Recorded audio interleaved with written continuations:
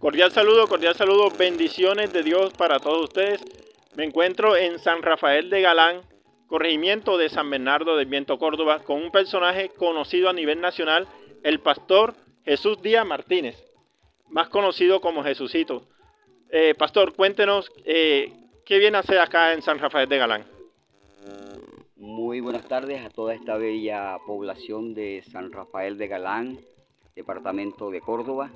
La verdad es que para mí es muy placentero estar en este territorio, en estos lugares, trayendo el Evangelio cantado y hablado a través del personaje que Dios de la gloria me ha regalado como Jesucito, el amigo de los niños. Es un beneplácito, una bendición gloriosa poder estar trayendo a estos lugares, presentando a Cristo Jesús como proyecto de vida en la vida de los niños. Eh, ¿De qué trata su mecanismo para enseñar la palabra de Dios a los niños? ¿Cuál es el método que usted usa?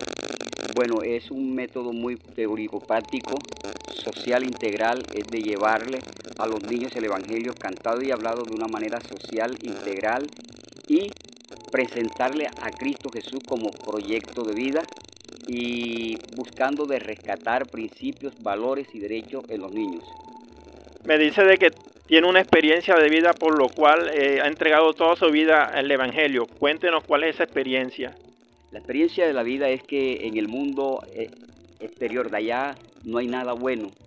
Yo soy una persona que donde voy me doy a conocer, soy una persona que tiene una discapacidad física, más no mental y a través de este ministerio que Dios ha puesto en mis manos a nivel eclesiástico, pues he podido tener la oportunidad de socializarme, de integrarme con la sociedad infantil que necesita mucho, mucho y mucho apoyo de nuestras vidas, de las personas adultas, de, esta, de este personaje de Jesucito, pues como llego cantándoles como niño, no me he visto, como puedes ver, no me he visto de payaso, me he visto de niño y es una manera social integral de integrarme a ellos y de llegarles de una forma lúdica.